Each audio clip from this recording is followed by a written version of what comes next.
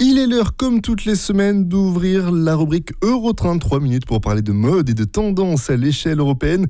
Et c'est en votre compagnie, Flora Vidal. Bonjour Flora.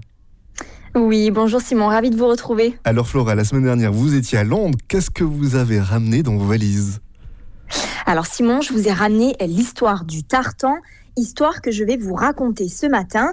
Le tartan, vous savez, c'est cette étoffe en laine et à carreaux, typiquement britannique, qui sert de base à la fabrication de différents vêtements, les écharpes, les pulls, mais aussi à celle euh, du kilt écossais.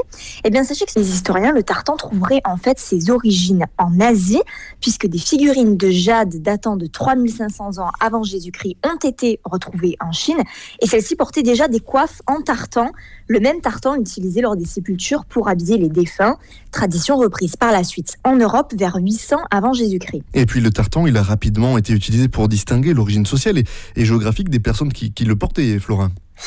Oui, Simon, sauf que cette utilisation est bien plus récente que dans l'imaginaire collectif. En fait, les populations celtiques utilisaient des tissus euh, de couleur pour confectionner leurs vêtements. Et plus le vêtement était coloré, plus il était coûteux à produire. Du coup, plus le tartan était élaboré, plus il était probable d'être issu d'un milieu aisé. Ainsi, les servants portaient généralement un tartan uni. Les paysans avaient, eux, un tartan à deux couleurs, trois couleurs pour les officiers, six pour les druides et sept pour les nobles. Vous l'avez dit, le tartan annonçait aussi la couleur de l'origine géographique, les Irlandais préférant le vert, les Celtes le rouge et les Danois le jaune. Mais attention tout de même à ne pas faire de raccourcis, puisque les historiens précisent que le tartan dépendait surtout des goûts de ceux qui le faisaient fabriquer. L'attribution du tartan aux différentes familles en fonction de l'origine sociale et ou géographique ne répond donc pas à une règle figée, même s'il est aujourd'hui possible de déposer son propre motif de tartan Comment Eh bien, en faisant des démarches auprès du registre mondial écossais des tartans. Je ne blague pas, sinon c'est très sérieux. Tout le monde, donc les particuliers, les entreprises, les, associations et surtout les écoles qui utilisent beaucoup le tartan pour leurs uniformes, peuvent en fait déposer un nouveau modèle auprès du Scottish Register of Tartans, dont le rôle est précisément de les répertorier. Alors on ne on se tient à carreau. Heureusement, la mode s'est emparée du tartan pour en faire un motif un petit peu plus cool.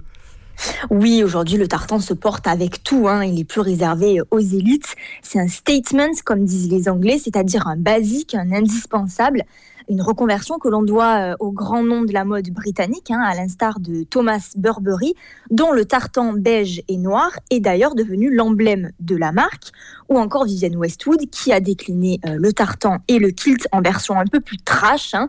D'ailleurs, le motif sera utilisé dès les années 70 par les punks, qui s'approprient le tartan par provocation, puisque le tartan était euh, alors porté par les classes dirigeantes, parce qu'il était jugé chic, élégant. Et d'ailleurs, cette mode est toujours euh, d'actualité, hein, je peux vous dire, parce que dimanche dernier, j'étais à Camden et les punks portent toujours du tartan. Euh, cet hiver, euh, je ne sais pas si vous avez remarqué aussi, il y avait une grande tendance, c'était la tendance de l'imprimé Prince de Galles, qui est en fait un tartan spécifique décliné dans des tons gris et noirs et des carreaux plutôt fins. Et bon, Simon, si vous êtes absolument adepte de la tendance, eh bien sachez les Tartan Day. C'est tous les ans le 6 avril. Je retiens donc en fait les Tartan Day le 6 avril. Merci beaucoup Flora. Et il faudra peut-être donc du coup attendre l'année prochaine pour, pour retrouver euh, cette, euh, cette nouvelle tendance ou ce jour-là. En tout cas, la chronique, elle, elle est à retrouver dès à présent sur votre blog. Je le rappelle pour ceux qui nous suivent actuellement, pamelacobson.fr. Flora, je vous dis à la semaine prochaine. À la semaine prochaine, Simon. Merci beaucoup, Flora Vidal, pour Eurotrain. Il est tout juste 8 heures passées de 11 minutes. On s'intéresse présent, à présent, pardon, à nos prévisions, celles de l'horoscope.